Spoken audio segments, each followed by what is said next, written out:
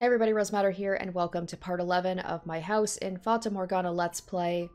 The last episode was pretty dang heavy, um, so we learned the truth of why Giselle ended up sent away to the mansion, and as much as I didn't want to be, uh, I was pretty dead on with my theory about why she was cast away, and uh, it was because she was abused in many ways by Michel's father, was found out by his mother, who wanted her put to death, but the father managed to have her sent away instead. And uh, yeah, it was just, uh, it was really rough. And uh, Michel and her got into an argument because he assumes that she, uh, you know, had a consensual relationship with the father and thinks that she's some sort of spy or something. So she ran away from the mansion, uh, almost died, was taken in by seemingly a nice man in a nearby village, but of course things cannot be good for Giselle for long.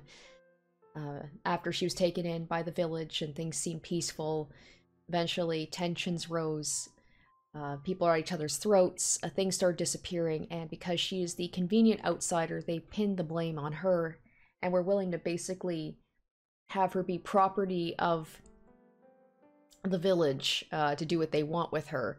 But she said that uh, she can lead them somewhere where they can get things to pay off their debts, which is Michel's mansion.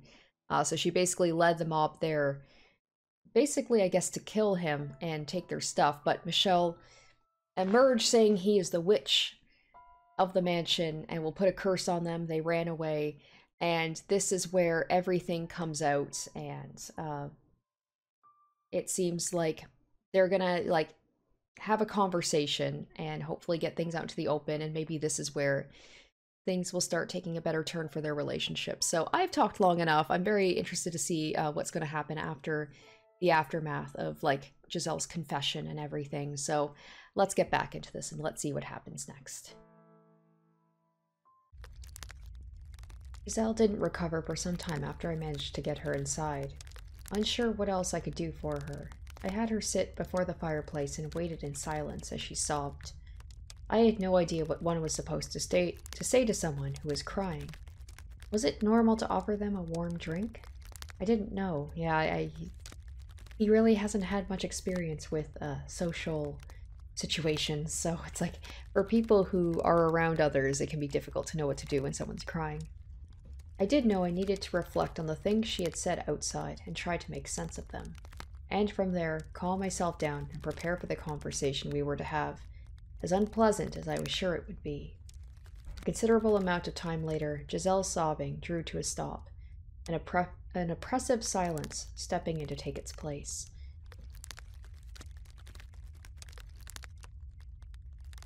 For far longer than was comfortable, the only sound we heard was the gentle crackling of the fire. I had to say something. I knew that, but what I didn't know was how to begin. I knew nothing about having an honest, face to face discussion with someone about the things we were thinking and feeling. But that didn't change anything. I had to do it, even if down that road lay truths I'd be happier not seeing. Giselle, could you please tell me what you did at. No, what was done to you at my family's home? How you ended up coming to this mansion and what happened after you left? I would like to know everything from start to finish.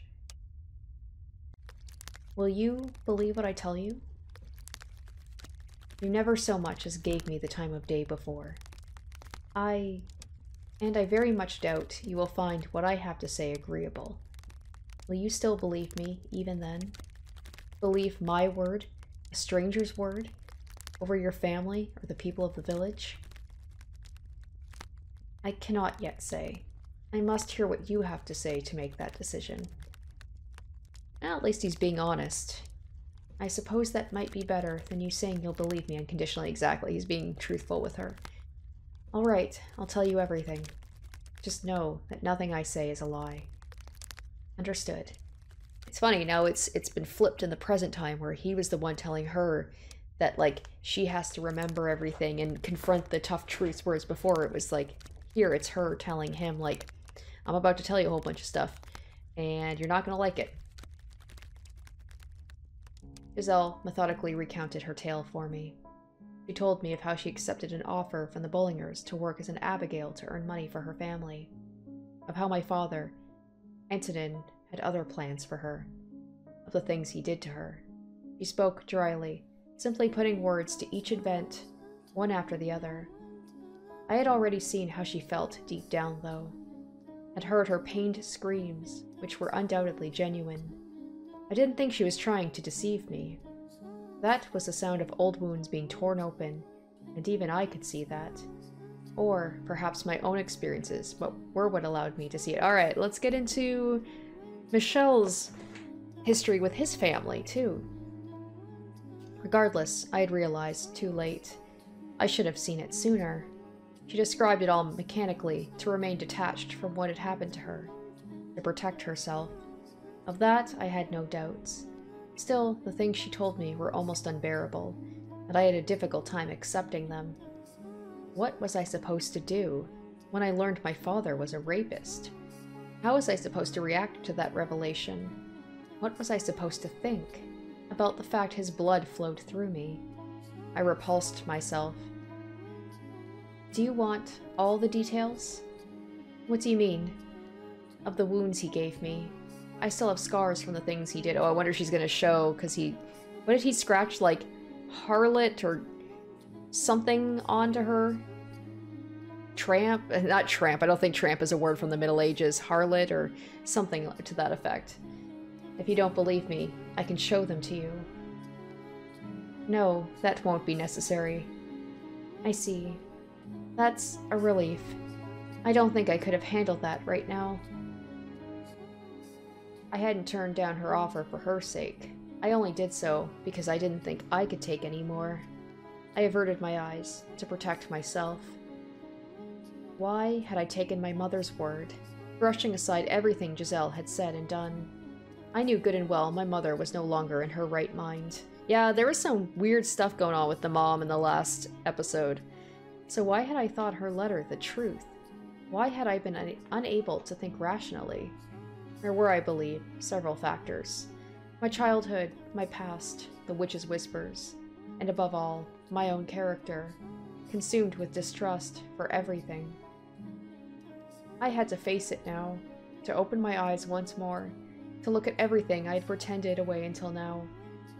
I was not completely blameless for her suffering after all. Please continue, if you will.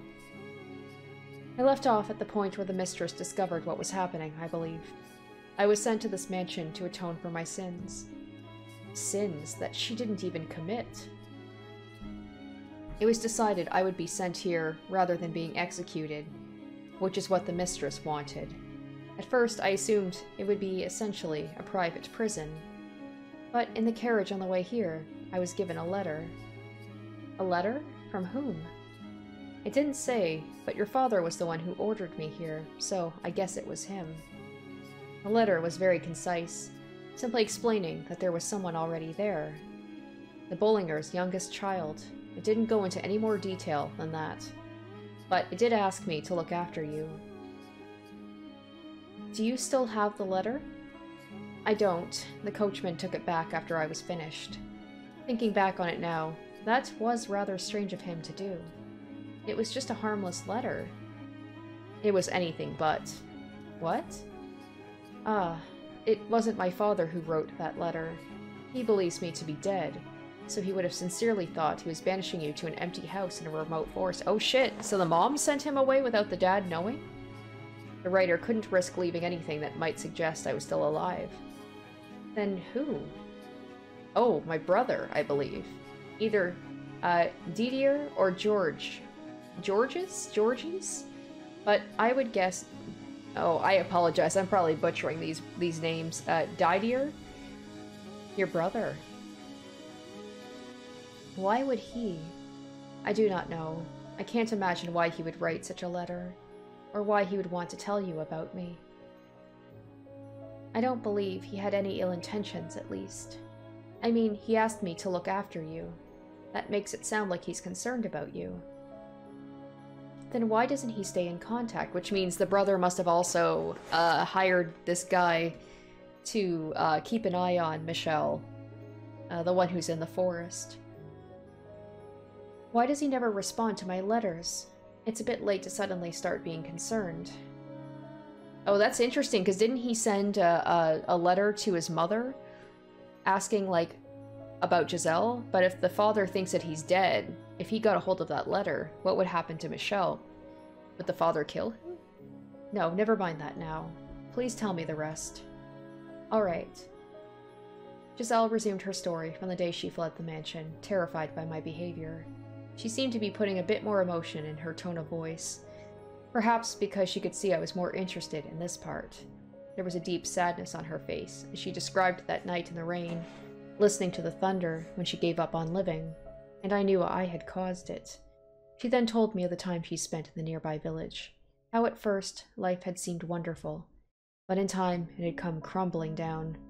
Naturally, she wouldn't be here to tell me this if nothing had happened there. Once she was through with her tale, Giselle let out a long, heavy sigh, as though she had been holding it in for some time. I thought I could hear just a faint trembling in the air she exhaled. That is everything. Do you believe me? I... If... if you don't, if you still think I'm deceiving you, then I won't argue with you. That's fine. If that's the case, please just kill me. Why didn't you tell me this sooner? I mean, you weren't exactly uh, an open book. You didn't seem like the type to be receptive, Michel. Some of this is on you. I know I wasn't very open to anything you said, but if that day, when I found you in my room, you had told me I was mistaken, the sin belonged to my father, it might not have turned out like this. Oh, okay, put put the blame on her, Michel. Shh. The knife. What? You were holding a knife. He was he acknowledged the fact that, you know, like the way that she reacted was like, you know, old wounds being opened up. Of course she was traumatized. She wouldn't be able to say anything. I, I give Michel credit that he's listening to her. He's being honest with her. That, you know, he's like, I'm not going to believe everything outright. He is taking her, um, you know, her feelings into account. But still, it's like, ah, of course she wouldn't tell you. Of course you, you know, the way you reacted, she wouldn't think you'd believe her. I can't handle blades anymore. Ever since what happened, they scare me to death. Just the sight of one in someone's hand, and I start thinking they're going to use it on me. I can't help it. I start shaking uncontrollably, growing faint of breath. The world goes white. I can't even form words. This is going to come back later, isn't it? There's nothing I can do. Now I finally see. She was grimacing in pain the day the package arrived, when you knocked my hand away. Because I was scared. Because it reminded me of that time. I'd assumed she was simply jump jumpy from a guilty conscience. I felt nauseous realizing I'd been pouring a constant stream of salt on her unmendable wounds. What a damned fool I was. Why did you get so upset at me? Why did you have to point a at, a knife at me? I didn't want you snooping.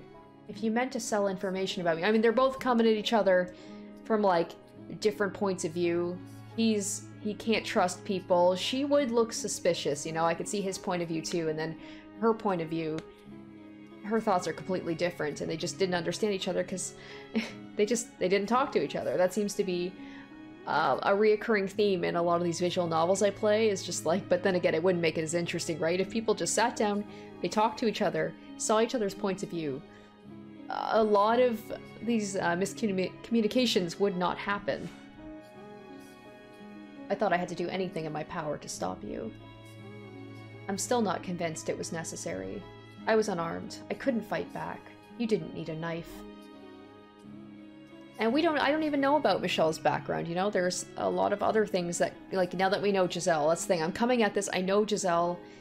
I know her backstory. I know you know what triggers her and how she's feeling. I'm not giving Michel enough credit. We, I don't really know much about him, so he, he has his reasons too, I'm sure. I mean, the way that he's been treated by his family alone, sent away in this mansion, like, obviously, he has not had a great life. I have nothing left anymore, so I'm going to tell you exactly how I feel. You're a jerk. what you did was inexcusable. You may not have hurt me physically, you still hurt me. I like I like Giselle. Like the white hair girl, she's a sweet girl, but a lot of the time, uh, she was just I don't know, a, a little bit too just letting people step all over her, not telling people how she felt. Humans are frail creatures. They wound easily. Apologize. What? Apologize to me. I said, apologize. I'm sorry. Again, put your heart into it. Convince me you mean it. Damn, for her just to be like an Abigail, like demanding an apology from a noble. I, I like it. I like that she's just, she's true to herself and she's just like, I'm not afraid to stand up for myself. I'm sorry. Again, once more, get down on your knees and shout it from your gut. She also probably is like maybe using him as like a, a surrogate for the father. You know, maybe she wants to believe because he's like the son, maybe him apologizing to her might make her feel better about what happened with the father. I am so very sorry. Was that a laugh? Geez, you're such a strange man. Strange? You told me to do it. Nothing's going like I thought it would. I figured even if we talked, you would just deny everything I said. I didn't think you'd actually listen to me. But you did. You listened, and you looked quite distressed by what you heard. I looked distressed? Oh, yes, you sure did. I wish I'd had a mirror to show you. I'm sure you didn't want to believe what I said, but you didn't once accuse me of lying. You faced up to the truth, and you apologized. I seem to have had the wrong impression of you as well. I didn't try to see you for who you were, instead letting myself believe you were someone to be afraid of. Be honest, I didn't like you very much. The feeling was mutual, but for some reason, I don't feel that way now. This is where it begins. Their love story's gonna begin now, but now that they've actually talked. Is it guilt? I need to apologize to you too. Apologize for what? I led the villagers here, I almost sold my soul to the devil. I tried to sell you out to save myself, and for that, I am truly sorry. I don't understand. What? Um, do I need to get down on my knees too? No, that's not what I meant. The blame falls on the village for falsely accusing you for stealing. You were a convenient scapegoat for the real thieves. They planned to take advantage of you from the start. That Amade was probably in on it as well, to get back at you for rejecting his proposal. Plus, giving the village a single target to let their frustrations on would, in a way, help unify them. He used you to meet that end. In order to escape from their trap, you told them about me, but this was after I had threatened you, causing you to flee from this place. You have nothing to apologize for. Still, I still feel really bad about it. So, I'm sorry anyway. You're unexpectedly stubborn. But now that we've both apologized to each other, we can call everything square. Square? Square. We were both in the wrong. So we apologized and we forgave each other. She gave a little smile, but all I could do was stare at her, brow furrowed in perplexity, like I was looking at some bizarre fantasyland creature. The weight of our crimes was not equal. What I had done to her was so very much worse, Furthermore, I am Antonin's son. His blood flows through me. Can you honestly say you don't find me revolting? That you're willing to forgive me for that? I didn't think I would be able to. If I were her, my grudge would extend to all my family, everyone I'd ever come into contact with. I can. Although you don't need forgiveness for being his son, being related to someone doesn't make you responsible for their sins. It wouldn't be fair to blame you for that. I mean, he literally... He's got the perfect alibi. He literally has not lived at home for like 10 years. He would have no idea what was going on. You're curious. What? Curious? About what? No, not that curious. You're a strange creature. I'm human, you know. Yes, I know you're human. You're making me lightheaded. Is it a medical emergency? That's quite the leap in logic. Haha. You know, I was at my lowest just a bit ago, and now I'm laughing again. It's odd. I never expected I would recover at all. I was just as surprised as her. She had been through hell. She had more than enough reason to despise me, to shower me with vitriol, but instead she was smiling. And even more unex- eh, and even more unexpected was the fact I felt relieved to see it.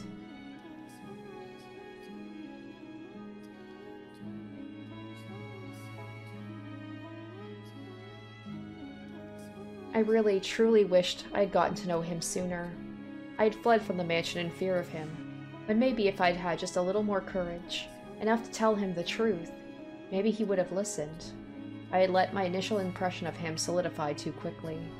I had convinced myself he was insensitive and perpetually expressionless, save for that arctic stare. But the man standing before me did experience sadness, pain, distress. Or at the very least, he appeared to from where I was standing. Michel was, just like me, an ordinary person. That said, there was still plenty I didn't know. I was still lacking explanations for much of his behavior. Would you mind telling me about yourself now? Yes, let's get into it. Come on, she laid it all bare. You gotta do the same. Tit for tat. I'd like to get to know you better. I have a feeling he still won't open up right away. What are you doing here in this mansion, all alone? Why do you call yourself cursed? I told you everything. It's only fair you do the same. I have no interest in using your information for anything. I have no reason to. Or are you going to keep pushing the master and servant line? Do you still think I have no need to know? Be quiet. For the love of God, stop talking already. You always pick the worst time. What? Ah. Uh, excuse me? What do you mean I always pick the worst time?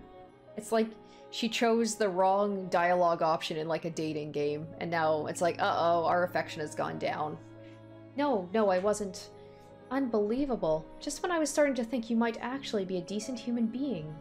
Then you go and spout this. No, Giselle, I wasn't talking to you. Oh, he's talking to the witch. He's talking to the witch.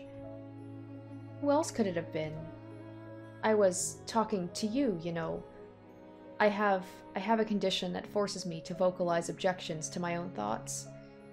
It's not actually a witch. I don't I don't ah, I, I mean, we know that there's some there there is some like magic or something going on here. The fact that like all of these centuries have gone by and Giselle has not aged and she's been stuck in the mansion so it can't be, I don't think it's a situation where everything I can just explain away, where like with him, you know, it's like where he says that there's a witch living in the house and he hears the witch talking, that maybe, does he have some sort of like disassociative uh, identity disorder? Uh, schizophrenia? Is he hearing voices? Something like that? Or maybe there truly is a witch living here. I don't know.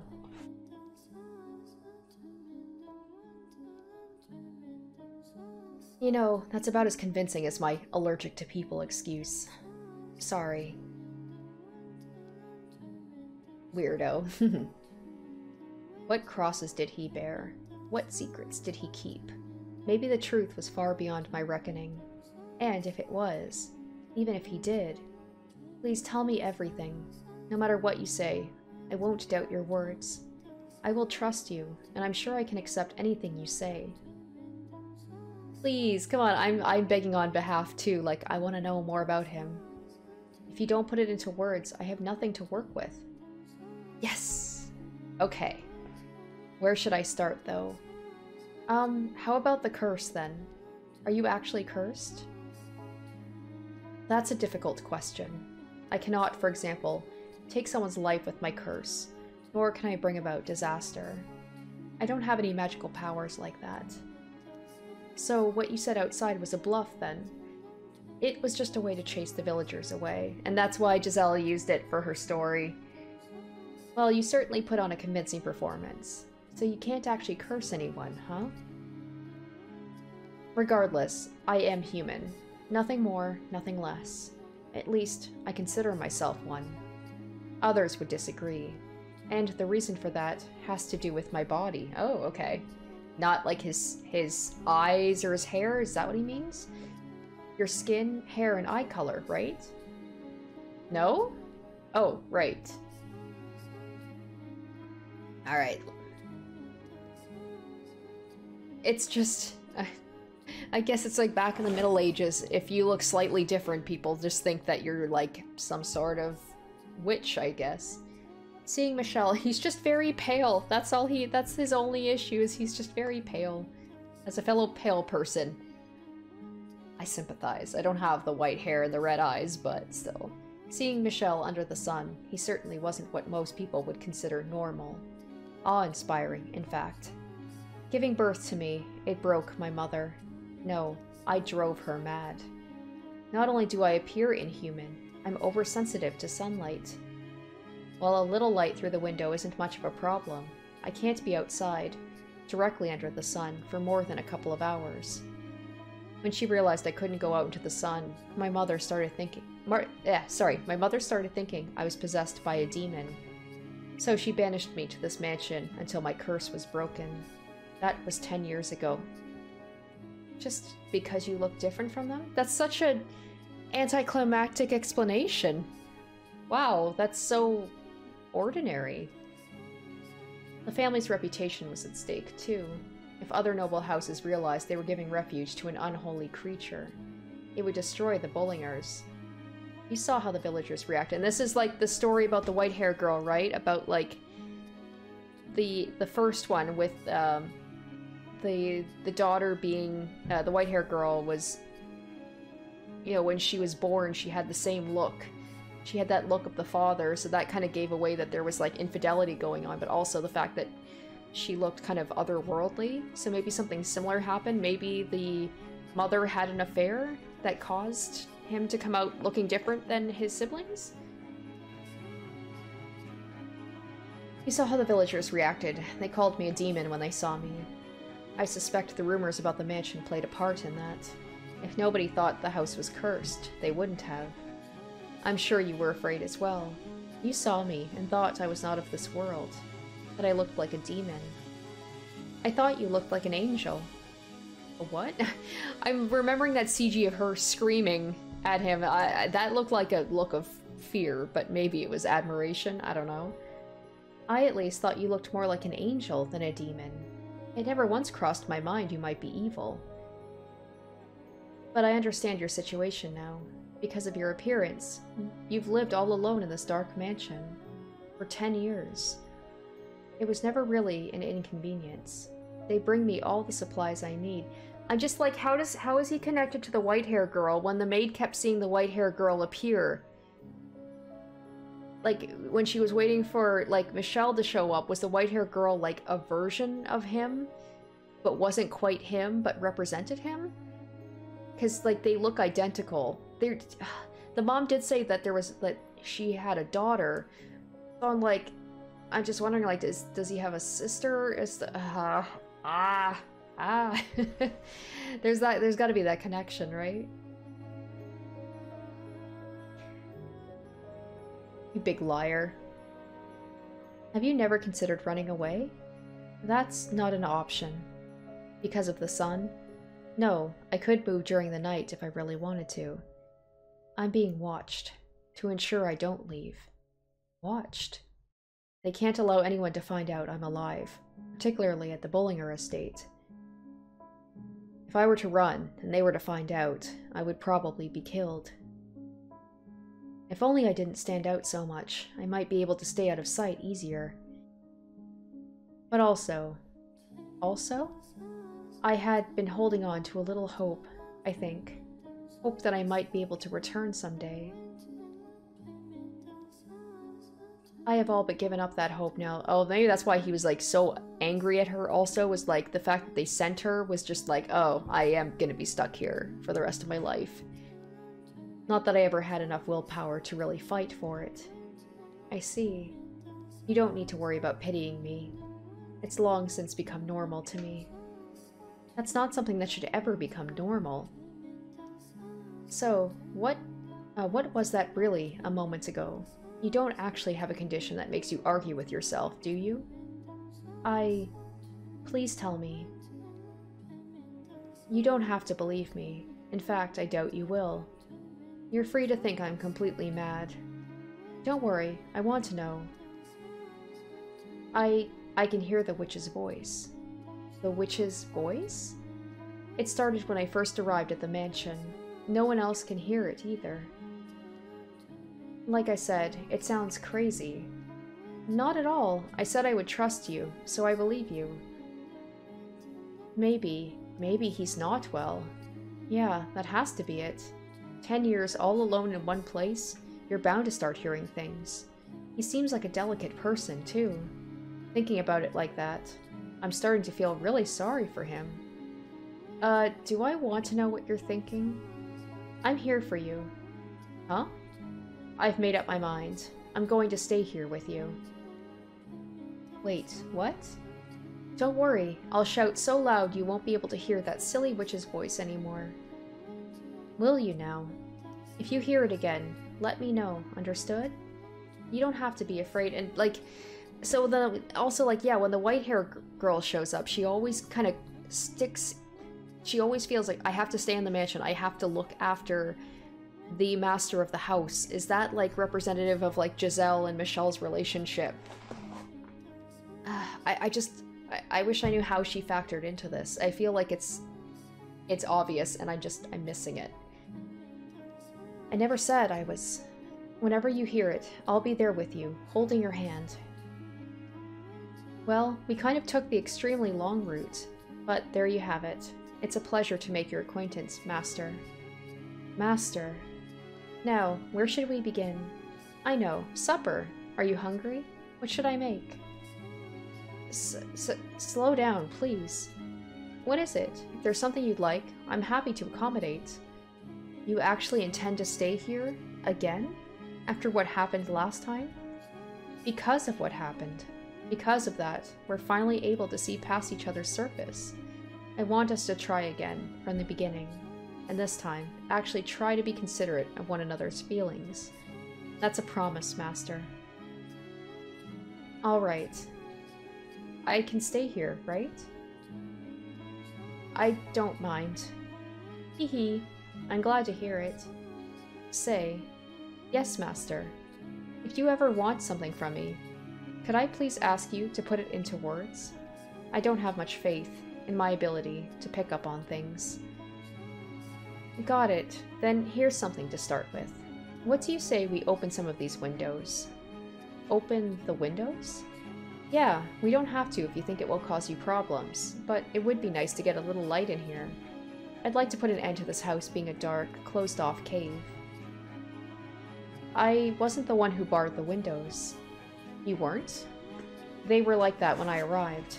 It made it seem like it was a very appropriate place to lock me away. Well, I'm sensitive to light, yes, as I mentioned. A little sun through the windows shouldn't cause any problems. Alright then, can I ask you to help me open them? Let's both lighten this place up. Well, that's good to see. That that was sweet. I'm I'm glad that it's like she said. It was a long roundabout way, but it's finally happening. After a few moments of silence, Michel gave me a curt nod. Well, we couldn't do anything about the windows that had been boarded up. Two of us forced open the ones that were just covered by rusted, uh, rusted over shutters. When we got the first one open, a beautiful stream of light, like nothing I'd ever seen before,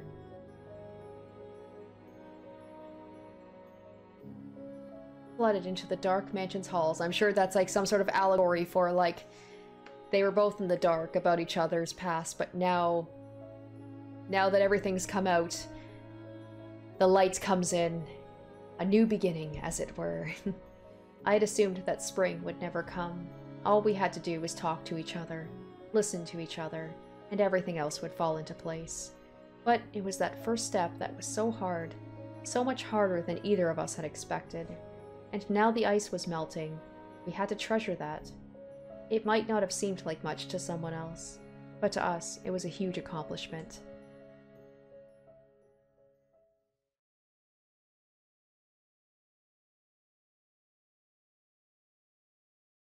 This time it'll all work out. It has to. I had all the confidence in the world when we were together, but now that I'm alone, in the dark, in the absolute silence of the night, I'm starting to get anxious again. Starting to feel like something bad is going to happen.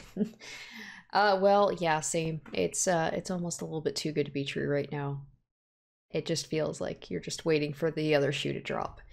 Like I'm going to mess something up again. We took a big step today, and I know I have to keep it together, to keep thinking positive. The goods you're after, Giselle, are not cheap. Understand? Thus saith the Lord of hosts, the woman hath committed three sins. She has lied, she has stolen, and she has betrayed her fellow man. Yeah, it just seems like Giselle's got like the worst luck. It's alright, it's okay. There's nothing to be afraid of, Giselle. Whatever happens, you have to hold fast to your faith in the goodness of others. You have no reason to tremble. I mean, given her past experiences, I wouldn't be surprised if she just lost all hope in the goodness of people. Ah, yes, come in. That's odd. I don't think I was hearing things. There's no one there. What was that about? Oh? A glass? It's wine, and it's so warm.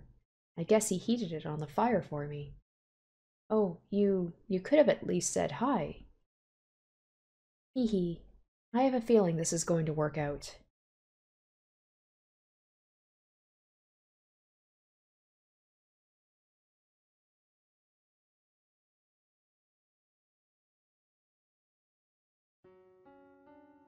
Alright, now we're back to present time. The light shining in through the windows is swallowed whole by the darkness, as if to say our time together never actually existed. We saw it, though. Together we watched the light crack open the darkness. I'm begging you, please remember. Please find yourself. Please, Giselle, don't let the things you felt, the warmth that fell over us, remain lost to you. It's funny how it's like it's flipped or now he's the one trying to get her to remember where it was her trying to get him to remember the past. I might have seen it. Seen the most beautiful light. Giselle. But are these truly my memories? Could they not be someone else's tale? Like all the others we have seen so far? She was so bright and energetic, and I am neither of those. Okay, are we gonna go back to like maybe go through those again, the whole thing with the white hair girl, and maybe see it from another point of view? Besides, the maid needs not a tale of her own. This is not a story. These are memories. Mine and your memories, no one else's. It was all very much real. As were the kinder, happier days that came next. Kinder, happier days. Those words create a strange warmness within my chest, but at the same time, they make me indescribably anxious. Is there really happiness to be found down that road? Even if our past doesn't lead to happiness, it couldn't be worse than where we are now. we'll see about that. Come, Giselle. The spring that made us more than just strangers. Alright, now we're gonna get into the actual, their love story.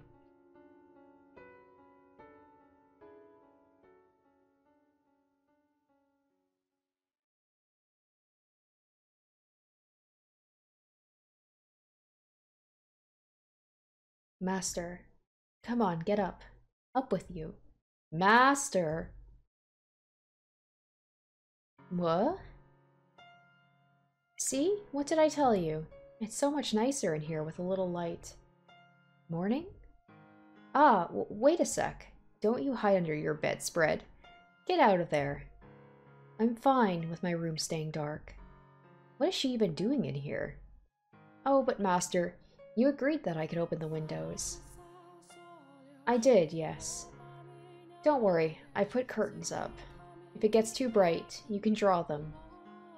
Mornings take the best parts of being outside and squeeze them all into the same few hours. You don't have to go outside in the sunlight for it either. Just listen to all those wonderful sounds. The joyous songs of the birds, the swaying of the trees, the rustling of leaves,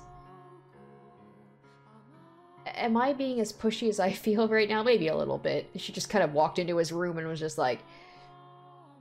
She, she's getting a little comfortable. I don't know how much time has passed, but... kind of. But you wouldn't be if you weren't, so for now, I won't get on you about it. Also, now that I know your real intentions, um, No, never mind. Hee I completely misjudged you. You're the exact opposite of what I thought you were. What did you think of me? Let's see. I thought you were cold and cruel, heartless and incomprehensible. But I'm beginning to get a better idea. You try to put on airs, but you're really rather childish. You have a short temper, but can be surprisingly playful. What else? You have a pretty difficult personality, too. There's not a single good trait on that list. Now, now, hear me out here. That's not everything. You gave me a chance to talk, and you listened intently. You can be kind of nice, too. We agreed we would live together, yet, uh, not just in the same house, so we've got plenty of time to add more to the list. And I hope you can make your own list about me, too.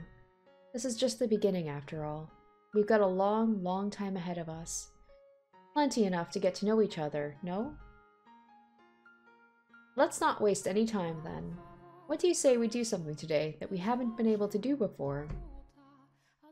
Where should we begin? Oh, I know. We can get this place cleaned up. He's like, uh, you're the maid, you do the cleaning. you want to clean? Now that there's some actual light in here, we can see all sorts of things we'd probably rather not. Like dust. All over the place. Hee hee. My vision was still slightly unfocused, having not completely escaped from Morpheus's embrace, but I could see well enough to catch her smiling brightly. That was the first time I'd gotten a good look at her in the light. I could see facial features I had missed during yesterday's commotion, and those glittering eyes. Not even a trace of the tribulation she had endured tainted her pure jade eyes. She's surprisingly good looking. I am clearly not myself right now. Is something the matter, Master? I know, you're still half asleep, aren't you? I guess I'm just going to have to throw my best bucket of water on you. What is a best bucket of water? I'm awake, I'm awake. Is there something on my face then? Just far too amusing a sight to wake up to. Uh, amusing? Oh, just get out of bed already. What a noisy morning.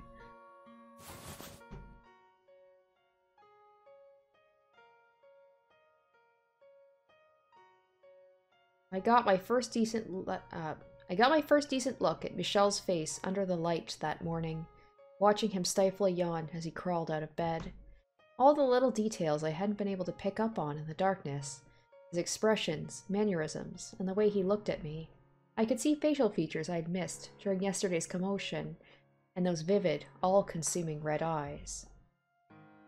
I was probably, no, almost certainly, making a really dumb face at him. Is it just me? Or is he kind of, no, very pretty? How could I not notice until now? Don't you hate it when guys are pretty? Like as a girl, when a, when guys are prettier than you, it's just like, oh, it's like it's it's just not fair. Oh, geez, wow! I can't look him in the eyes. Um, yes. what what can I do for you? Is there something on my face? What? I uh no. Ha. Ah? Hair monster! Excuse me? Um, no, uh, your hair, it's really long. Yes, that's it. Way too long. Ho ho, is that any way for a servant to speak to her master? Ah, I'm just kidding. I don't have any interest in holding your status against you anymore. Ah, I see. It's really hard to tell if he's joking or not. So, about that cleaning, may I wash my face first? What? You're going to help? As I just said, I'm not going to act like I'm superior to you anymore. What are you snickering about? I can't help it. I'm happy. Hee hee. If my hair really does bother you, you can cut it. Huh? I, I can cut it? Uh, of course, I'll give you the best haircut you've ever had. But I should warn you, you'll want to stay perfectly still. I'm a monster with a pair of scissors. My sister always said you were as likely to lose an ear as you were your hair whenever I cut it. He's like, can I take back what I said? You stay away from me.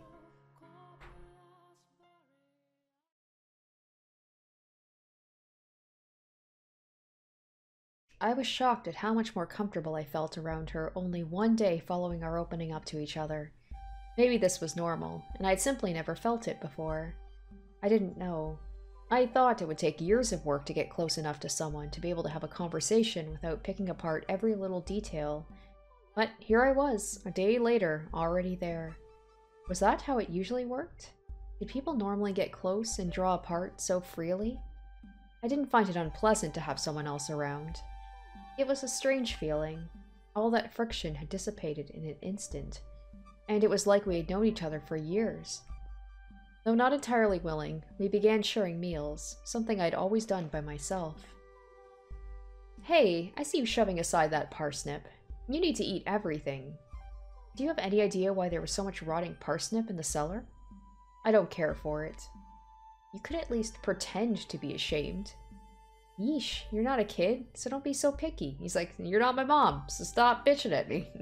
it's not good for you. Hasn't caused any problems thus far. It will soon enough. I can't believe you.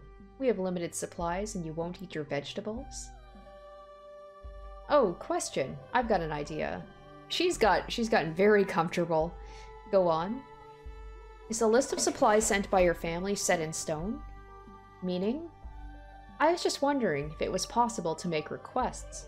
If I could, I would just go out on a shopping trip. Perish the thought. The one village around here is the one you came from. Right. Say, are you saying that out of concern for... Who would ever be concerned about you? I just want to be able to sleep well at night. And I'm not interested in throwing more servants to the lions. You know, you're a whole lot simpler of a person than I first thought.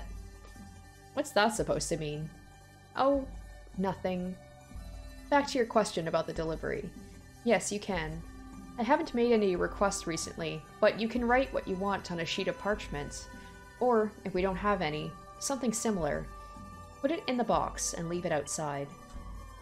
As long as your request is not completely unreasonable, it should arrive with the next package. Why? Is there something you need? Yeah, I was hoping to increase our selection of vegetables. And while I'm at it, if possible... Actually, that's a secret. A secret? It's nothing too exciting. I'll tell you when the time is right.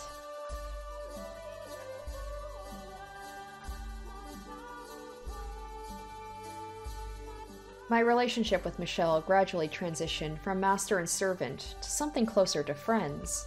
He was still my master, but he allowed me almost complete freedom, and he didn't order me around either He even gave me a hand with my work, though he was still not very talkative and oftentimes hard to read. He at least seemed to be making an effort to close the gap. He would on occasion tell me about himself, though not in much detail, and any time his family came up, he grimaced uncomfortably. Apparently, his father had wanted him dead.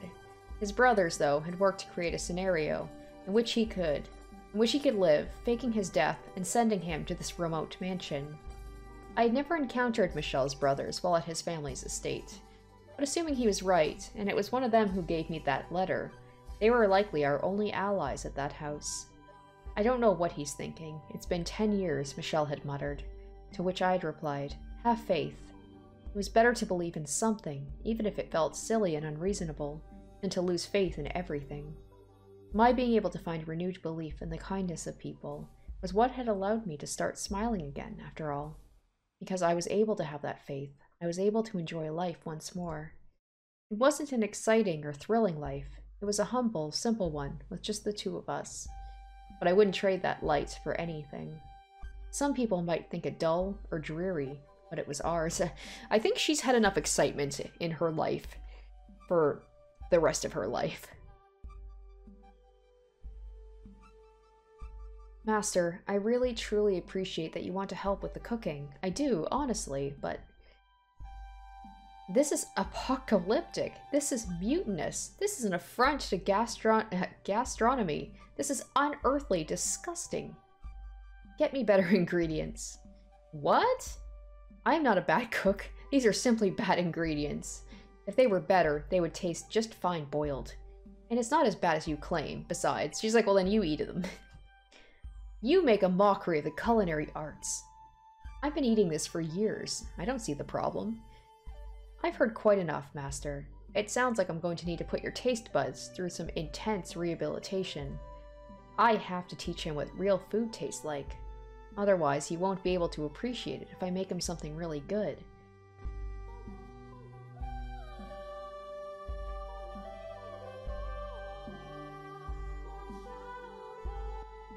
Hold the chair steady for me, will you?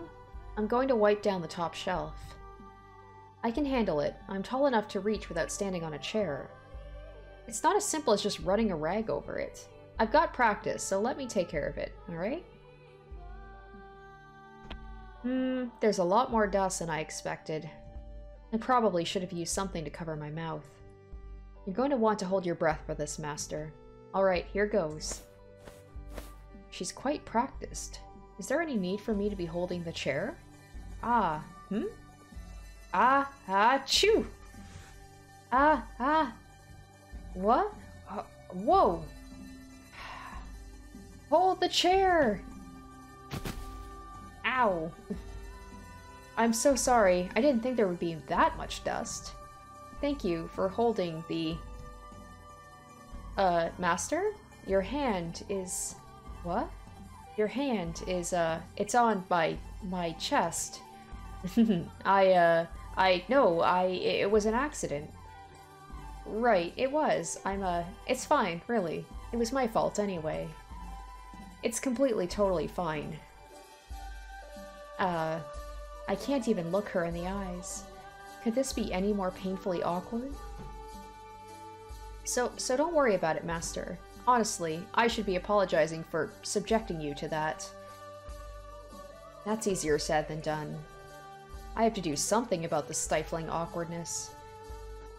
For one, it was only for a moment. I barely even realized what it was. But that's not the issue. I need some clever way to brush all this aside. Something witty that tells her I'm not bothered at all. He's gonna fuck this up, isn't he? Gonna make it more awkward? I'm not concerned. In fact, I see no reason to be concerned at all. It felt like I was squeezing an obese rat! Oof. Oof. I knew he was gonna say something weird, but I never, never would have expected that. Oh gosh. That's how I'm gonna refer to my chest now, to my husband. Is it not like squeezing an obese rat? Oh my gosh. I hardly even perceived it as a breast. oh my gosh. An obese rat. An obese rat? What? How utterly insensitive can you be? I'm gonna rip every last hair off your head. God, leave my hair out of this! Who would have thought this game would have, like, comedy parts of it? It's nice to have some moments of lightness. Say, Master, what did you do all this time by yourself? That's an exceedingly vague question. Um, say when you were really, really stupidly bored out of your mind, what did you do to keep yourself occupied?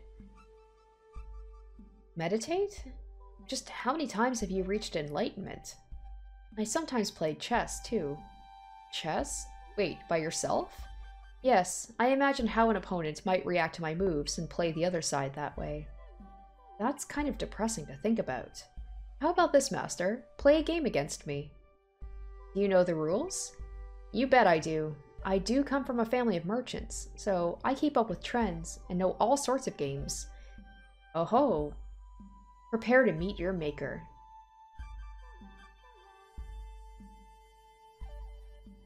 So, who was I supposed to prepare to meet again? Urgh. Come on, have a little mercy. You trounced, you trounced me. One more time. I just wasn't at the top of my game. Rurg. when am I going to meet this maker? What? How? When did you put me in checkmate? One more. That's the rest of this episode. It's just gonna be her losing to chess over and over again. Hold on, that's not fair. Take it back. My king. Please stop. Amateur. Nah, can't you go a little bit easy? You never asked me to go easy. This isn't a game. This is a slaughter. This is a one-sided massacre. About this maker. I'm looking right at him. That was actually kind of fun. No, it wasn't. It was miserable. Next time, we're playing something fair. Such as? Let's see. Oh, I know. Arm wrestling. huh? Arm wrestling? Yeah, you sit across from each other, you put your elbow on the table, grab hands, and see who can pin the other down. He's so, like, anemic looking and skinny, I bet she could trounce him at arm wrestling. Because, you know, like, she's used to, like, doing labor and stuff. Who would ever willingly participate in such a primitive competition? Not interested, then? Or are you afraid you might lose? Alright, then. I can't imagine losing to a woman. He's totally gonna lose to a woman. Okay, elbow on the table. Start on my count. Ready? Go. Yep, I was right. Nah? Victory!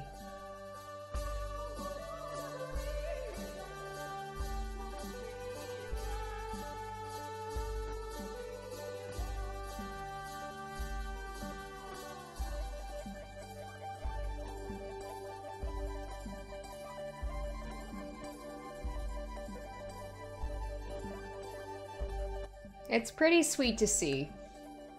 It's uh, after like how they started off with. It, it was hard to picture it getting to this point, but it is nice to see it. I can see why you guys really like Michel. I didn't know what to think of him at first, but yeah, I'm definitely like just like with Giselle, I'm coming around on him for sure. With each passing day, it grew less and less unusual having someone, having Giselle always at my side. I began more freely engaging in silliness, speaking my mind and showing emotion. I could say her name, and Giselle would turn around and smile at me, an unimaginable sight not long ago. For ten years, for ten years I had lived alone. Solitude had been my normal, but that was very rapidly changing at her hands. We were continually getting closer, yes, but not in a romantic sense. If I had to describe it, I would say good friends was probably the most apt. Well, maybe I was wrong. Maybe maybe it was just they were just good friends the whole time, but I have a feeling it's going to turn into more than that. Time continued to press on, our relationship remaining relatively stable. Eventually, summer came, bringing with it the longest periods of sunlight I'd experienced in many years. Then, the leaves began falling from the trees, and before long the world grew cold and dreary. That winter, the, the, fireplace was never without a crackling blaze in its belly. The boiled wine we drank was undoubtedly middling and cheap. But she said with a smile, I've never had wine this good before. And though I didn't say anything, I felt the same way. The sun set much earlier, and having stopped using candles, we found ourselves habitually gathering around the fireplace when it grew dark. Aww. Reading a story by the fireplace like this almost makes it feel like we're in another world, doesn't it, Master? I bet that's why troubadours perform at pubs, so they can be, be near the fire. Or because there's ale. Drunkenness makes even bad singing and storytelling pleasant to the ears. Oh, you're such a cynic. But that's okay. Say, yes? Do you remember when I first arrived here? When I was cleaning the library. Please don't tell me you're bringing the obese rat incident back up. No, not that. Before that. Before we could actually, like, actually talk to each other. I believe I suggested we read something together if you ever felt the inclination. You might have. I can't say I remember. I imagine that obese rat comment, he, like, wakes up at two in the morning randomly being like, why the fuck did I say that? We've all had those moments where we'll just remember something from like five years ago and be like, oh my god, why? Are you sure about that? You turned down my proposal, saying I was wasting my time. But look, it actually happened. Even if you don't remember, I'm sure you never thought this moment would come. I was, for the most part, focused on making sure things didn't get any worse between us. But to be honest, I didn't expect there would ever actually come a time we would sit shoulder to shoulder and read a book. You never know how things might pan out. I actually do remember. I remember how I tried to push her away, how much I mistrusted her. I was nothing but hostile toward her. People change, and perhaps if they can, so can the future.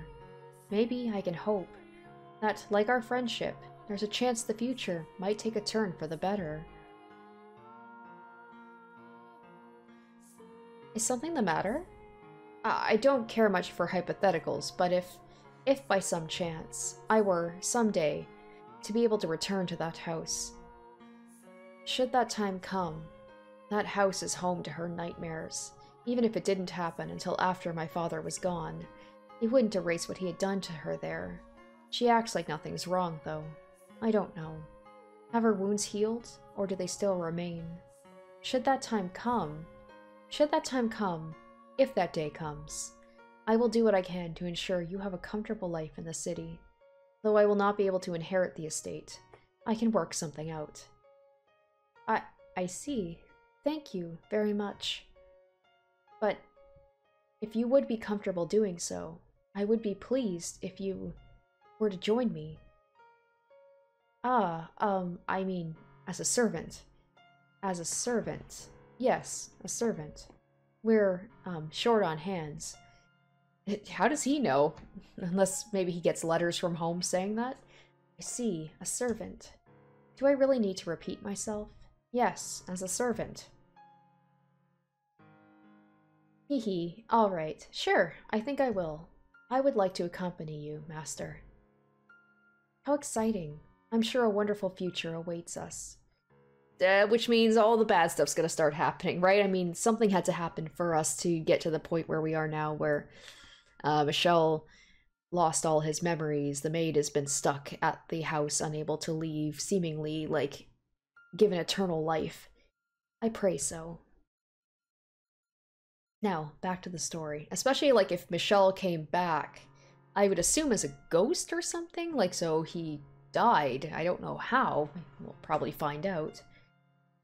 I believe we had just gotten to the point where the knight set out to defeat the monster and save the princess. I bet he was a big, buff, muscular knight. Let's not talk about how muscular he was. She let out a gentle laugh, and I thought I smelled something sweet on her breath. Was it her scent? Or perhaps just my imagination? I had no way of knowing. We sat so close, even the slightest shift seemed sufficient to allow me to hear the sound of her heartbeat causing mine to accelerate. Curiosities flooded my mind. What might she be thinking right now? What did she think about me? as much as I tried to banish them, I frustratingly failed. I was just getting caught up in the moment. I had just briefly lost my way. Though I tried to convince myself otherwise. It was all in vain. When had my pulse gotten so rapid? When had my skin gotten so flushed? When, how, why was this happening to me? I thought I'd already learned my lesson about having feelings for someone else. Oh, okay. Let's get into this. Before long, winter retreated, and our second spring came to take its place. A full year had passed since we'd resumed living together, and I don't think it was my imagination that this year felt much warmer than last. Spring seemed to have arrived a bit earlier than in previous years. One night, when the breeze carried on a pleasant residual warmth, Giselle escorted me out to the garden. Come on, Master, hurry up. It's the middle of the night. What's so important? I just found it myself, and I couldn't wait until morning. I wonder if it's a white rose. Yep, a rose. It blossomed. Maybe not a white rose, but a rose, and that was the start of like the. That's something that just keeps coming back. A rose? Giselle had, over the past year, cleaned up the nest of weeds that had been strangling the garden. Off to the side of a small plot of turned soil, swaying in the wind beneath the moonlight, was a single red rose. When did you... Last year, I requested flower seeds, but I just couldn't get them to grow, and I was starting to think they never would. But look, it's only one, but it did. I had no idea. Of course you didn't. I didn't tell you. Why would you keep it from me? I wanted to make it a gift for you, Master. What? Why? Roses make wonderful gifts, supposedly. No, that's not what I meant. Why me? I haven't given you anything. Consider it a symbol of my hope. We'll still be this close another year from now. If we are, then this is yours. I don't follow her reasoning. I don't follow it at all, but the sight of the deep red rose almost melting into the dark night was perhaps the most wondrous thing I'd ever seen in my life. I'd never understood why some people found flowers so enchanting. They were always just plants to me. But but that one, on that night, was an undeniably beautiful, majestic, and like a young child seeing a flower for the very first time, my hand automatically reached out for it. Why do I seem to be playing games? Games specifically about, like, mansions with rose gardens. And, like, what a, what a random, like, specific kind of repetitive thing to happen to me with the games that I play. It's kind of funny, actually. So now I'm thinking back to those times with like the white-haired girl where she held the flower and it changed color and all the times the roses have come back up again. Not knowing the proper way to appreciate flowers, I didn't gently caress its petals or take in its fragrance, but snapped its stem. Oh, dude. Oh, you picked it? Are you gonna bring it back to your room? I just afraid that he just immediately, like, crushed it. When I finally processed her question, that was when I realized I probably should have left it to grow in the garden. From the base of its stem, where I'd plucked it, a droplet succumbed to gravity and fell to the earth. With it came the delayed realization that I had ended the plant's life, but it was overpowered by childish possessiveness. This stunning flower was mine. Moonlight trickled down from the heavens, giving a gentle bluish tint to my hands, and the smile on her face. You're going to need a vase, then. Give me just a minute. For the briefest moment, the moonlight must have played a trick on my mind. Aw, that's where she got the rose! I can't believe I didn't make that connection. When they had the flashback of who she was and she was wearing the rose in her... Oh, huh? Uh, master? what on earth am I doing? And it was like with the white hair girl, right? Where he brushed her, like, her ear or something. It was just like what he did with her. A look of bewilderment filled Giselle's face, just inches from mine, which hammered in the reality of what I had just done. The thought had crossed my mind that perhaps her black hair might prove a good backdrop for the rose, but it was supposed to remain a simple fancy. What was that about? An excuse. I need a good excuse. Come up with something better than obese rat, please. Uh, a drawing. A drawing? Right.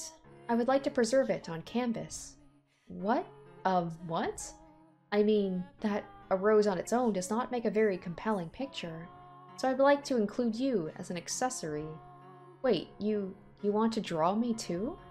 Merely as a background element. nice, Michel. You're simply more interesting than a vase, that's all. What what a charmer. I've never seen you draw anything before. I just never got the urge. I just like to imagine he draws something, it's just her as like a stick figure. It's awful. You know how? Many, many years ago, my brother taught me. I don't think I can handle being a model. I've never had a drawing done of me before. You would probably be better off with just the rose. You gave it to me, didn't you? That means I'm free to do with it as I please. I, I did. I didn't mean to sound so rude. I had no real interest in drawing the rose, but I couldn't just take it back either.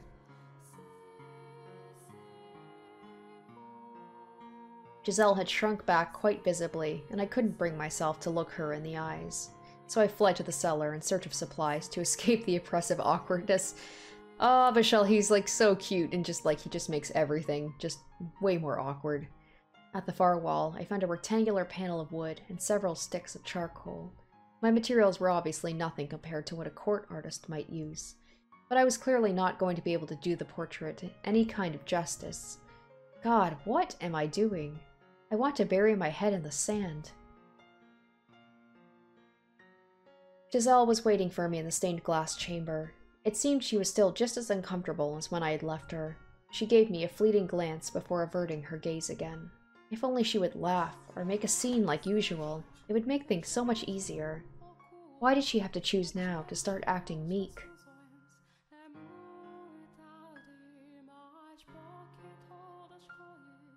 Um, what should I be doing? Stay perfectly still, please. Do you need me to pose or anything? No, just get comfortable. Look away. Why? It's hard to work when you're watching me. Um, what? I feel like I have to sneeze. Hold it in, please. um, what now? Can I see it? I've barely drawn anything yet. As long as our eyes didn't meet, I was able to observe her, and my gaze was quite clearly not focused on the rose, but Giselle. At first, I had regretted my in-the-moment proposition, but I was beginning to think it hadn't been such a bad idea. Without some sort of pretext, it would never have been able I would have never been able to examine her so intently. I didn't have that kind of courage. I wonder if the picture of her is somewhere in the mansion. This isn't like me. But what was like me? Did I prefer being a sharp-tongued, unapproachable recluse? Was that what I wanted to strive for? Giselle was like a gale. Her mere presence dispersed the gloomy cloud that always hovered around me. Thinking about it, it's practically a miracle that we ever ended up so comfortable around each other, that she's still here right now. Light from the moon spilled through the stained glass window, taking on a multitude of pale tones before falling on her white skin and jade eyes. I had stopped sketching at some point.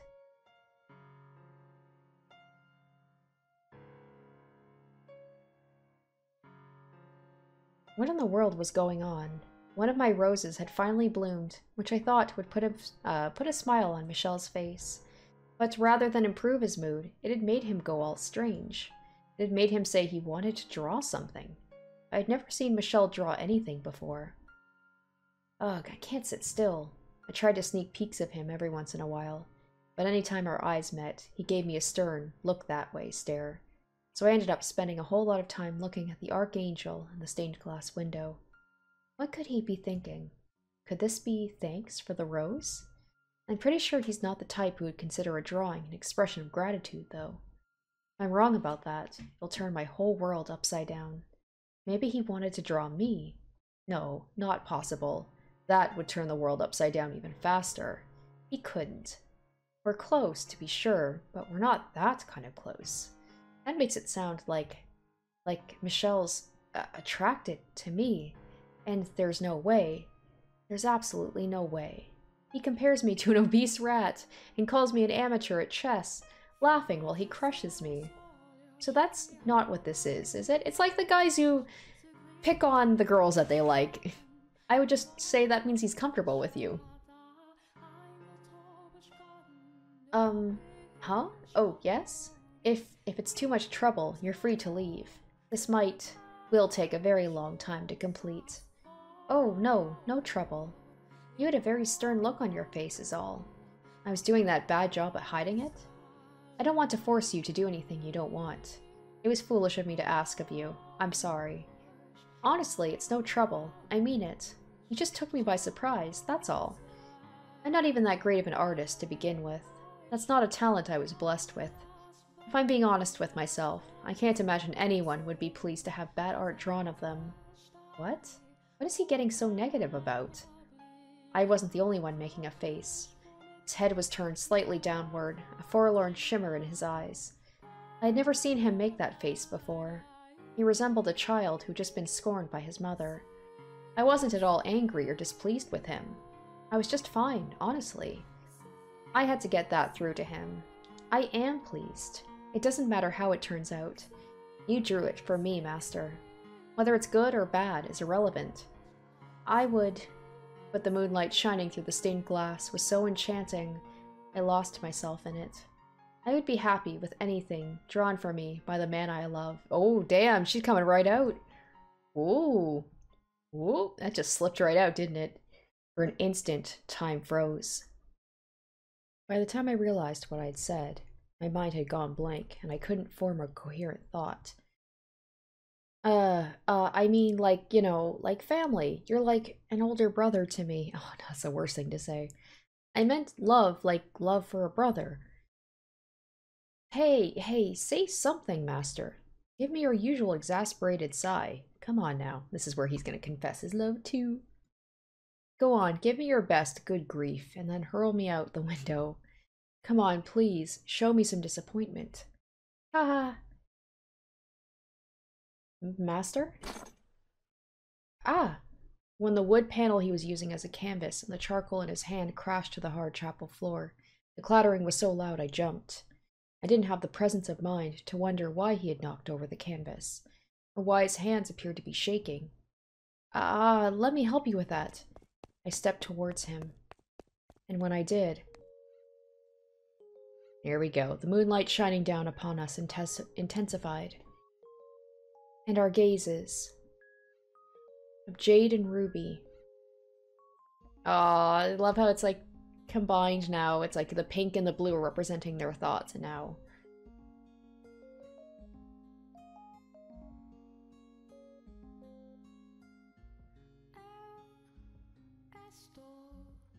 There was a visible rosiness in his ethereal pale, ethereally pale cheeks.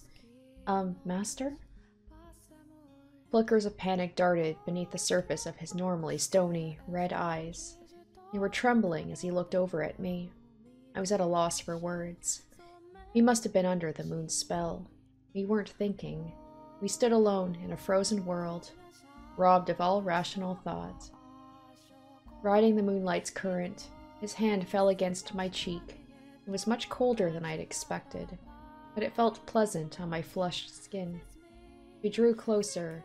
I could feel the warmth emanating from his body, and I'm sure he could feel mine. Beating of my heart, too. His breathing stopped for a moment, then he gulped. He brought his head in. I closed my eyes and. Oh no. Ah! No, I, I. Oh, poor girl. Then I shoved him away with all my strength. Michel rolled back, knocked his head on the side of a pew, and began groaning in pain, which when I which is when I finally realized what I had done. What what what have you done, Giselle? I, I'm I'm sorry. I didn't mean to.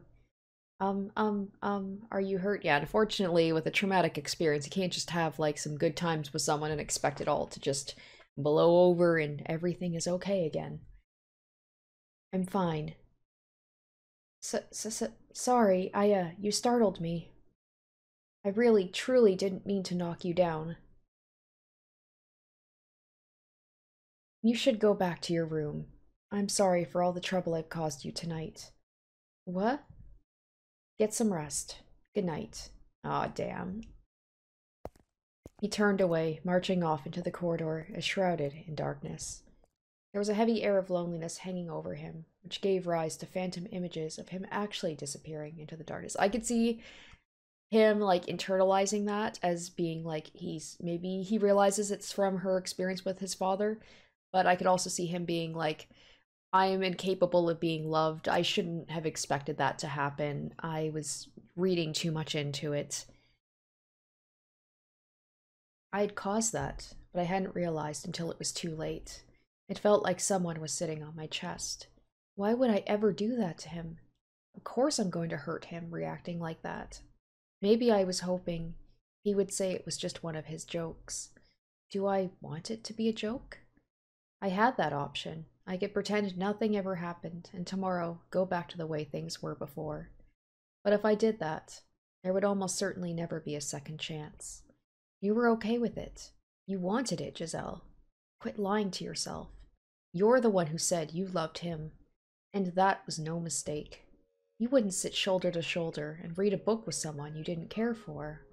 You wouldn't enjoy eating supper with someone you didn't like. You wouldn't be able to live happily with someone you didn't love. You have to go after him, find him, and tell him the truth.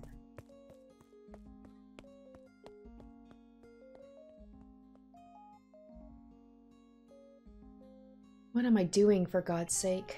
I'm not in my right mind. Something about me was off today. I couldn't control myself. I was saying things I didn't mean doing things I didn't intend to. Maybe he's gonna have that realization, be like, no, no, I meant all those things. I had never meant to do that, but at this point, I had no choice but to admit my feelings. I couldn't pretend I didn't know what they were anymore. How long had I felt this way? A week? A month? Six months? Or maybe a full year? Had they already developed when we started anew? No, the when didn't matter. It didn't change the facts. I was still attracted to her, regardless of when it had begun. Ah, but she pushed me away, quite literally. I sighed at myself. Why should I be disappointed? She was nothing like me. I knew it. I knew he was going to internalize it as like it being because of him. I was reclusive and unsociable. She was the exact opposite. She was the kind of person who would confidently tell someone how she felt. And she had done exactly that. Said I was like a brother. But I hadn't listened. Oh, right, I forgot about that part. I could see why he would be like, I was reading too much into it. As a matter of fact, could I have been any more presumptuous? I don't deserve to love anyone. It's better this way. I... Master, I'm glad that, like, instead of stewing about it and letting the feelings go unsaid for, like, days or weeks like it would normally happen, like, she's going to be like, I, I'm gonna clear this, the air. Because the last time that they didn't communicate, it led to them being, like, miserable for a long time. I told you to go back to your room. Master, I need you to listen to me, okay?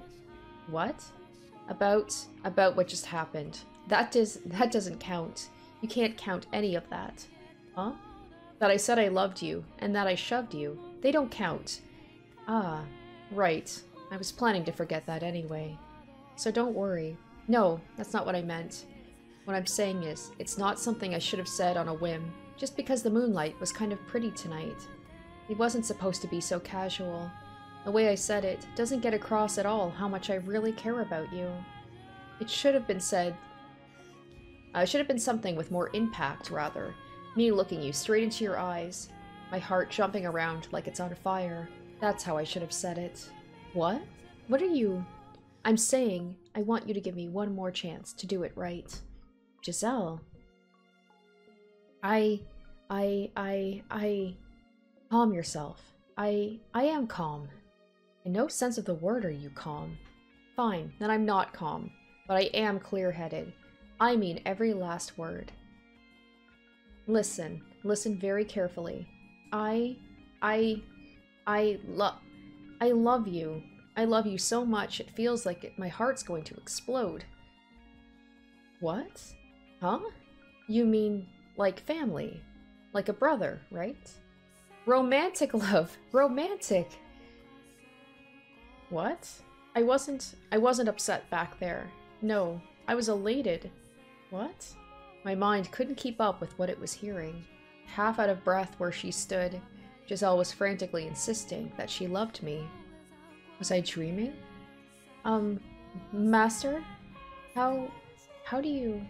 I would like to hear how you feel about me. Assuming I interpreted that correctly. You were going in for a kiss back there, right? Right? So I can take that as your answer? Ah, Giselle looked at me with bleary eyes. She, she had feelings. For me. It was a miracle. I could hardly breathe. It felt like someone had stuck their hand in my chest and was squeezing my heart. I just had to say yes, and a smile would spread across her face.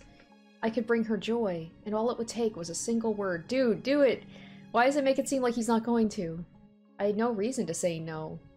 My happiness was standing right there in front of me. He's not gonna do it. He's not gonna do it. He's gonna feel like he doesn't deserve happiness or something.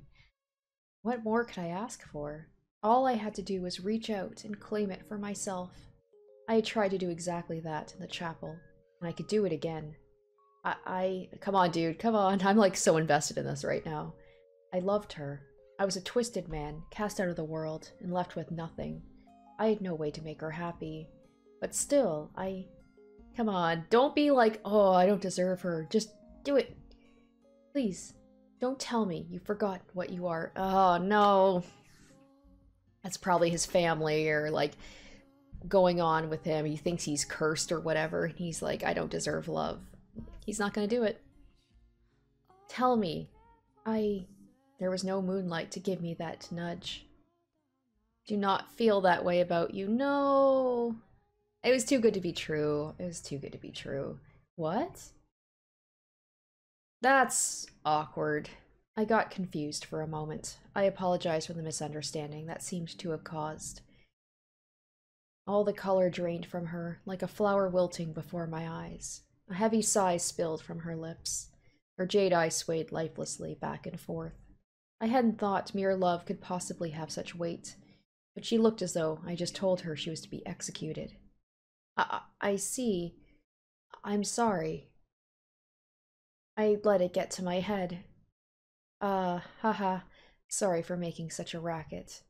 Really, God, what was I thinking? I got way ahead of myself there. Her faux energy hurt to watch. I had hurt her, and this was the result. You wanted to protect yourself, even if it meant hurting her. But look where that got you. You would have been better off just going with it. Because when she learned the truth, she would have pushed you away anyway. I'm sorry. I'll be going now. Sorry for barging in on you like that. She made her way into the shadows toward the door. There, you did it. You preserved your peace. I got the feeling she would never, ever again turn back. Your mistake was ever getting close to anyone. What I always wanted was right there in front of me, and I was so close to obtaining it. And you pushed her away. I actually did love her. She would have never loved the real you. No, she couldn't. Ah, what is his... Okay, okay. Here we go. Here we go. We're getting into his past now. I need to know what's going on here. You're disgusting. I can't believe you actually had the gall to fall for me. Oh, that's right. He said that there was like... Oh, that's right. He said that there was a girl before, like another love he had. Oh, dude. Good night, master. She was leaving. I wanted her here, and she was leaving. I simply had to acknowledge my feelings, and she would come back. Was I really content to let her go? In my weakness, I mistreated her. I hurt her. I let her go, and I was about to lose her even though she said she loved me. And I felt the same way. Wait, please don't go. Your voice is shaking like a scared child's. What are you hoping to tell her like that? I. She was different. She was probably. No, she absolutely was nothing like anyone in my past. She won't be any different. I decided I would try just one more time. Is she gonna believe him at this point? I hope she does. She's not gonna just be like, you're just saying that to placate me because you feel bad for me. To believe in myself, and to believe in someone else. I lied. Giselle, from the bottom of my heart, I.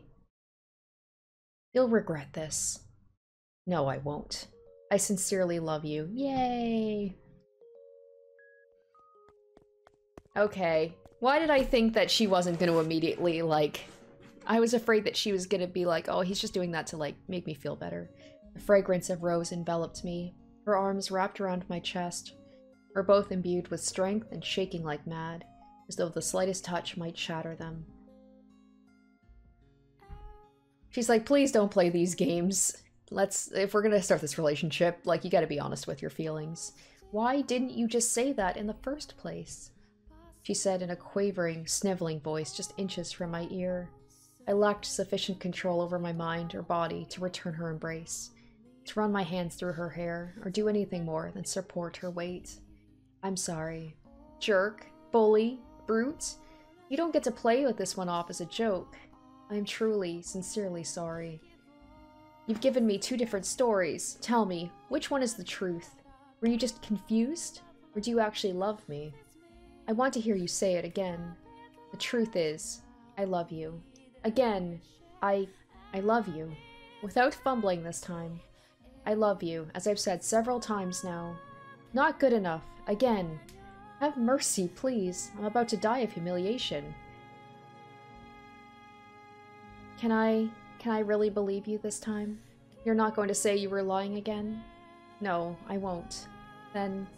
then we both feel the same way about each other? Shockingly enough. What's there to be shocked about? I didn't think there was anything likable about me.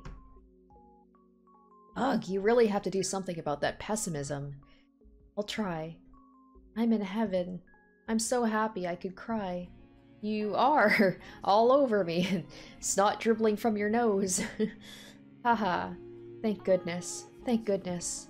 When you first said no, everything went black. I wasn't sure what I would do anymore. I had lost all hope. I really, really do feel bad about that. But you had a change of heart.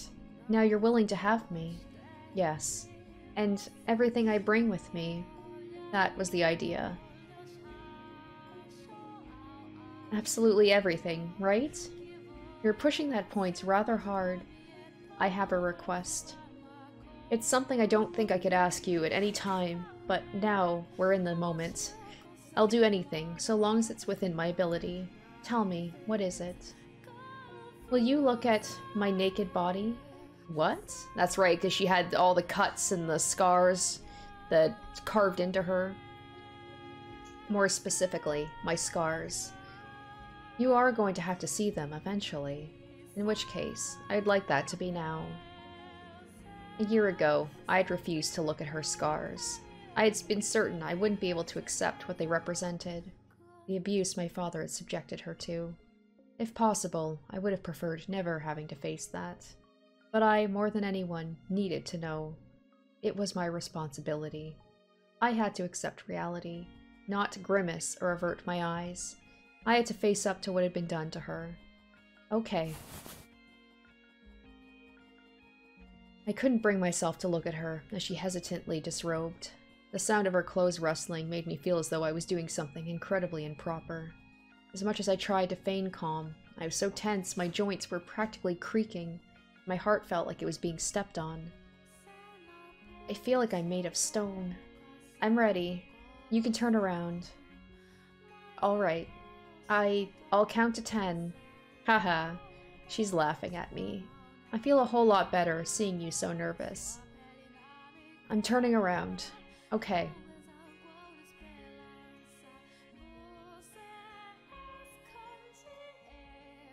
Her head was tilted down, just enough to keep me from making out her expression, but she couldn't hide the pink flush spreading across her cheeks.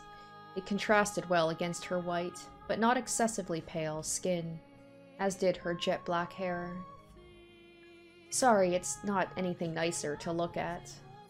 In what way was this not a pleasant sight? I had never been more entranced by anything in my entire life. She was stunning. I had no measure of comparison, but I was certain the same sight of any other woman in the world would not have had the same effect on me. I could say as much with confidence, despite never having seen another woman nude. Hypnotized, I couldn't take my eyes off the gentle curves of her body, were I more socially inclined, perhaps I could have told her she was pretty, which perhaps would have brought a sheepish, smi eh, sheepish smile to her face. And though I wanted to, my throat was dry as dust, and all I could manage to produce were incoherent rasps. Um, please, please say something. Ah. I'm, I'm hideous, aren't I? I'm unclean. I mean, I feel like it would be it would have more of an effect if like you could actually like I don't see any scars on her. Maybe they're lower, but I feel like that would kind of make it hit a little bit harder, you know? You're not hideous. You mean it? I mean it. Why would you think so? Because I... You're not unclean. Not in the slightest. You mean it? I do. Even seeing this? Giselle's eye slid downward, a trace of fear lurking just beneath the surface. I guess, yeah, I guess it's like they said, uh, it would make sense, right? Like the, the scars and everything, they wouldn't be on the upper half of her body because obviously he would want to keep them secret. So that's probably uh, done on purpose. From the top, she looks normal, and then as you go downwards, that's where everything is. And there I saw her scars, swollen red and black gashes, still not healed after more than a year, defiled her white flesh. As she had described for me, the lines were arranged to form letters carved into her skin. So that's why she said I would have to see them eventually. My instincts told me these were wounds she would carry for the rest of her life. I felt nauseous, heartbroken, infuriated at the fact the person who had done this was out of my reach. The fact I could do nothing for her. What went through my father's mind when he looked at these? What did he gain from giving her these wounds? Why did he have to do this to her? Why my father, of all people? Giselle was the one with the scars. Giselle was the one in pain. but I felt like someone had shoved a handful of needles into my chest. Dozens of thick metal stakes piercing the walls of my heart, blood streaming through me like a river.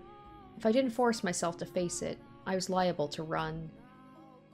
What was the right thing to say? What was I supposed to tell her? As hard as I thought, I couldn't come up with an answer.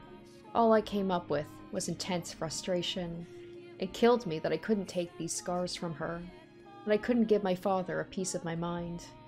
You are in no way hideous, no matter what marks are left on your body. It took all I had to form that single sentence. Thank goodness. I'm so glad to hear that. When I was down in that village, they said it didn't matter what they did to me because I was already dirty. That made me think I'd reached the point where I was so tainted, anyone could see it. I'm sorry. Why should you apologize? You were frowning really intensely. I thought I might have made you mad. No, I'm not angry at you. I'm angry at my father, the villagers, and myself. May I touch them? You may. My hands were trembling, but I knew I wouldn't be doing her any favors by hesitating. As soon as my fingertips brushed her skin, she shuddered. Does it hurt? No, there hasn't been pain in some time. I could feel her trembling where I touched her. It didn't seem like it was going to subside anytime soon. Soon she began whimpering softly. Her lips moved as though she was trying to say something, but the best she managed were a few strained gasps. Tears had begun welling up in her eyes as well. I'm... I feel like I'm in heaven right now, but I also kind of hate myself. Hate yourself, but why? Because I can't stop shaking. I'm overjoyed to feel your touch, but I can't control my body. I know you're nothing like that, but I keep seeing flashes of you doing other things in my mind. It kills me that my body won't react the way I feel in my heart. I was foolish to have ever thought these wounds might have healed. Just as scars remained on her body, so too did they remain in her heart. Unlike the physical wounds, though, the ones inside her seemed to still be raw and bleeding. She just did such a good job of acting normal that I had begun to think she might have gotten past them. Of course not, you blind fool. You shoved me back there because it brought back those memories. That's right. I'm sorry. I'm really, truly sorry. Why are you apologizing? I should be the one. Do you have any desire to place a curse on him? What? Do you want to curse Antonin? If you so desire, I might be able to make it happen. Cast a curse on him, perhaps even a fatal one. I ignore the fact he's my father. I don't consider that man family anymore. I want you to be honest with me. If, hypothetically, such a thing were possible, would you want to curse him?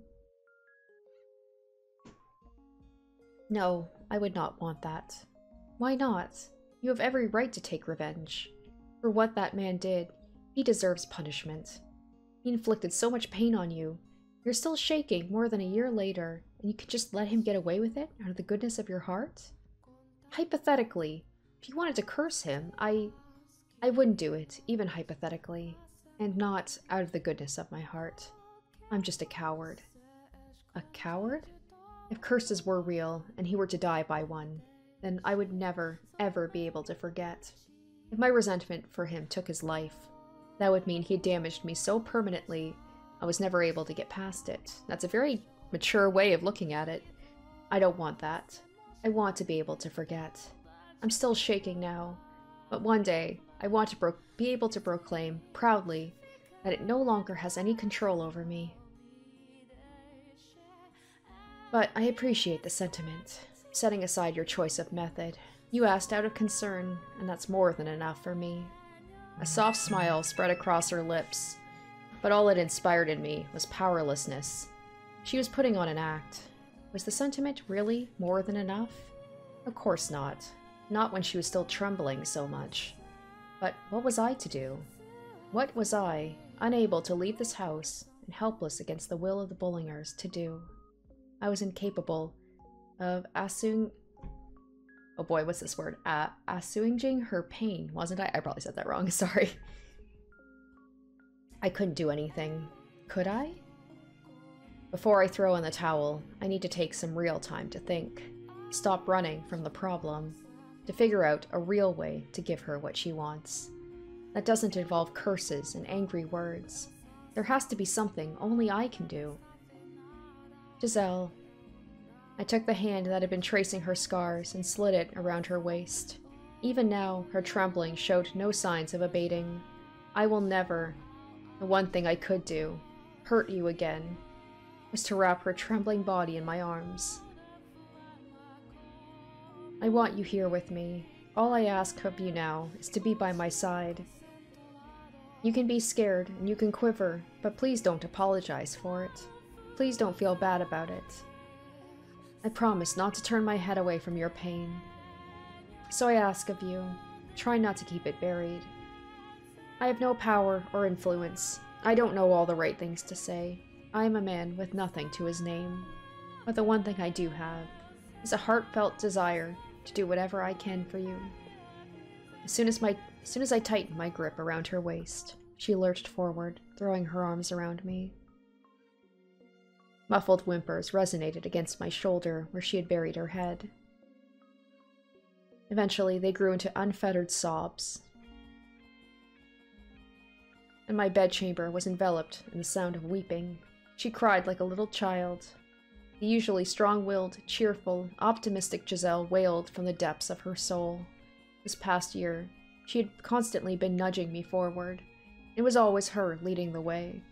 There had undoubtedly been moments where she'd wanted to cry like this, but couldn't.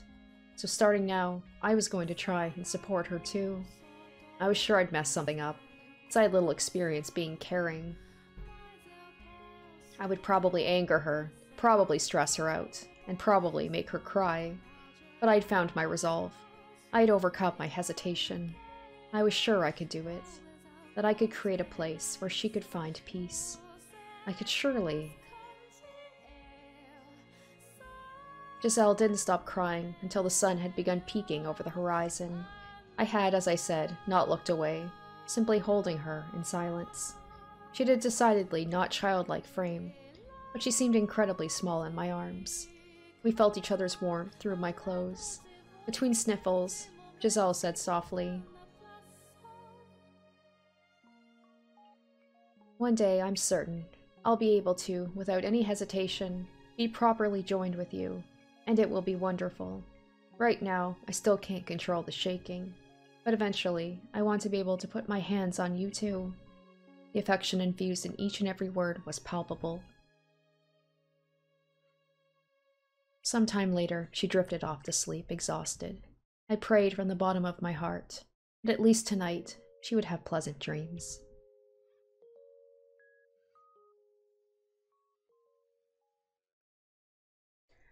All right, well, that was be- that was a beautiful episode. Uh, it's everything I wanted it to be. Um, they're finally, it just, it's amazing what happens when you just talk to each other and don't assume things and uh, let everything come out. And it's just amazing, like seeing from their internal uh, points of view and how they interpreted situations, but knowing from like the other person how wrong they were in their assumptions. But it's all out there. They've confessed their love uh, Michel saw her for everything that she was, and we know that the happiness is not going to last long. I mean, we know, like, in present time, something happened to separate them, and they've been looking for each other for all of these years. Uh, but yeah, it's like, it's a matter of how that happens. Like, how did everything culminate to the present time with Michel seemingly coming back as a spirit and Giselle being uh, I guess, like cursed to stay in the mansion for centuries, wandering looking for Michel. I want to get into that, but for now, like that was a, a great episode. It's like it's nice to see things moving along. So I hope you guys did enjoy this episode. Uh, thank you so much for watching, and I will catch you in the next one. Until then, bye. Special shoutouts to my top tier patrons Nana, Kaori Mikoto, Revealing Storm, Tequila Mockingbird, Jared Fan, Izzy Ibo, Esborn Kennedy, Harry Gazif, Icognito, Locus Carolus, Matt Goldsmith, and Wu Sing Chrysalis.